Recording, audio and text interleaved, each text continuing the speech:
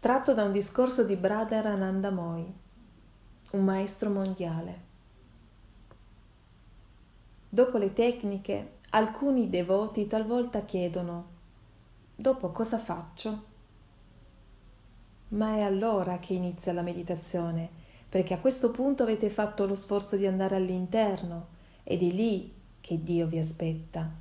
E quindi quando siete alla presenza di Dio, cosa fate? A quel punto non fate più niente, perché se volete fare qualcosa, ricordatevi che le azioni vengono compiute dalle facoltà, dagli strumenti. L'anima non fa niente Ora quando dico non fate più niente, non voglio dirvi di porvi in uno stato passivo e vuoto. Quando eravamo seduti con Yogananda non ci addormentavamo e nemmeno saltellavamo tutto intorno.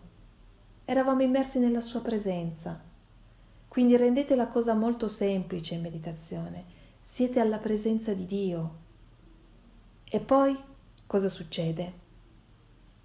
oblio di se stessi. Non pensate più a cosa posso ricevere e non cercate più di ottenere delle esperienze, niente di tutto ciò. Il sé, l'ego, deve andarsene. C'è un totale abbandono di sé, c'è solo una cosa, tu mio Dio. E non sto parlando di esperienze in termini di fenomeni, fenomeni paranormali, e tutta questa robaccia, capite? Yogananda ha detto, questo non è un circo, avete la tv per quello. Lo vediamo dalle lettere che riceviamo continuamente. La gente non capisce. La gente cerca di ottenere un'esperienza. Se cercate di forzare non l'avrete mai, non le vere esperienze. La pace. Cercate Dio in aspetti essenziali come la pace, come la luce, la luce di Dio o l'Om o l'amore o la gioia. Se riusciamo a percepire qualcuno di questi aspetti, questo è Dio. Allora abbandonatevi adesso, capite? Ed è per questo che Yogananda ha detto, e l'ha detto perfettamente, perdetevi semplicemente nel vostro amore per Dio più nessun pensiero di sé, solo per Lui. Se pensate a voi stessi non state meditando, perché meditazione significa concentrazione su Dio, ad esclusione di tutto il resto, e ciò significa escludere l'ego. A volte capita che non succede nulla, vero? Non c'è niente, solo oscurità. E la gente dice, Beh, non ottengo niente di niente, è inutile, non merito niente. Non è vero, perché questo è necessario. Cose così sono necessarie quando Dio sembra non rispondere. E cito ora Gyanamata, una grande discepola di Yogananda, perché lei attraversò, e tutti noi abbiamo attraversato periodi del genere. Disse, non fate caso al suo silenzio, se cioè non ricevete una risposta tangibile. Ricordate, disse, lui sta ascoltando, lui sa quello che state offrendo.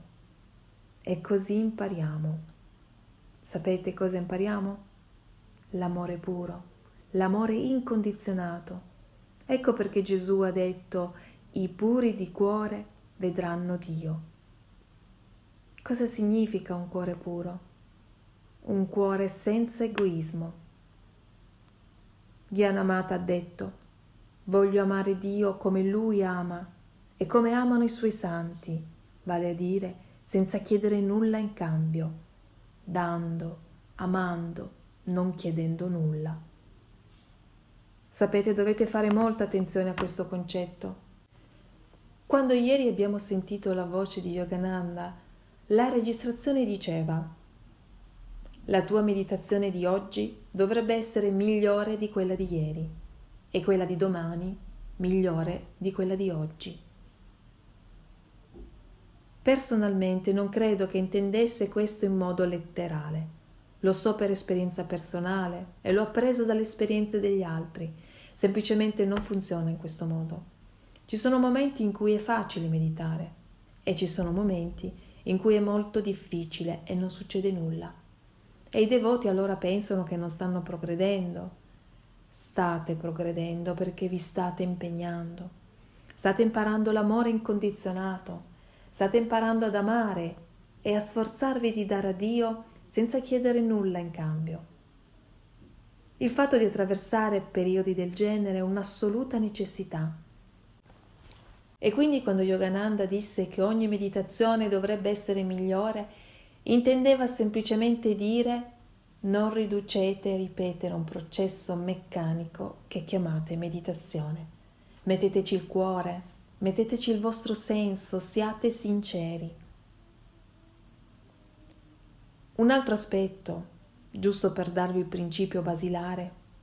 Ovviamente non possiamo meditare tutto il tempo. Abbiamo i nostri doveri, abbiamo il nostro lavoro, il nostro ruolo esteriore da svolgere e anche questo fa parte della disciplina spirituale.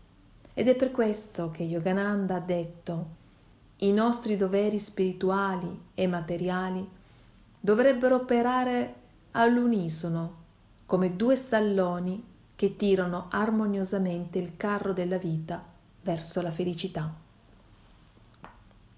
E poi ha continuato spiegando. Tutti i doveri esteriori dovrebbero essere spiritualizzati, ovvero dovrebbero essere tutti svolti con la coscienza interiore di Dio. Sapete, Paramahansa Yogananda è così chiaro, così preciso. Cosa intende dire con queste parole? Vi darò un'illustrazione. Sono venuto in America per studiare con Frank Lloyd Wright che era un famoso architetto dell'epoca e io lo osservavo. Era il re dell'architettura, un vero genio. Osservandolo mi chiedevo, è felice? E ho scoperto che non lo era. Era frustrato. E poi ho capito. Aveva cercato la felicità e l'appagamento attraverso la fama e la sua creatività. E ricordatevi ciò che ho detto prima non potete trovare l'appagamento completo in questo mondo. E questo include il nostro lavoro, non importa quanto sia importante o meraviglioso, non potete trovarlo perché non è lì. E allora mi sono ricordato che ero stato in Italia e avevo visto i meravigliosi quadri del Beato Angelico, un grande pittore del Quattrocento. Era un uomo veramente spirituale, un grandissimo devoto di Dio e si dice che mentre dipingeva i suoi quadri di Cristo, dei mm. santi e così via, lacrime di devozione scorressero dai suoi occhi. Ho pensato, ecco, questo è ciò che insegna Paramahansa Yogananda. Ora, non sto dicendo che quando lavorate dovete piangere, non è ciò che voglio dire, ma il beato Angelico trovò l'appagamento interiore in Dio e riguardo alla sua pittura, non dipinse per ottenere fama, era un'offerta d'amore a Dio ed è ciò che dovete fare voi, non importa cosa fate o quale sia la vostra occupazione. A Dio non potrebbe importare di meno. Ma ogni tanto fermatevi solo per un momento e interiormente dite faccio questo per te. E così spiritualizzate ciò che fate. Restate in questo modo centrati su Dio anche in mezzo al vostro lavoro. Quando prendete in considerazione i vari santi delle diverse religioni attraverso i secoli, ne trovate in ogni categoria di occupazione e di livello sociale, dai re ai mendicanti, ai monaci, ai capifamiglia.